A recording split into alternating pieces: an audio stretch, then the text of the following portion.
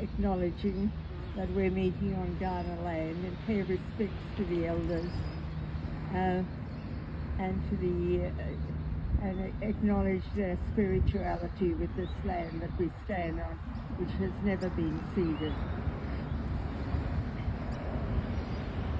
At 8.15 a.m. on the 6th of August 1945, the United States dropped an atomic bomb on the Japanese city of Hiroshima, incinerating 140,000 men, women and children. Three days later, on the 9th of August, um, a second American bomb killed 74,000 people in Nagasaki. Thousands more have died since then, are victims of radiation from bombs. This, this must never happen again. Together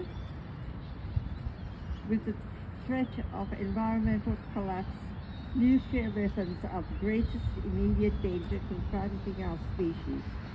The existence of nearly 13,000 nuclear weapons ready to be launched without warning poses an imminent threat to all.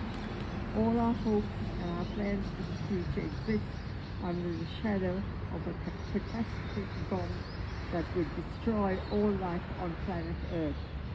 The only defense is to ban all nuclear weapons.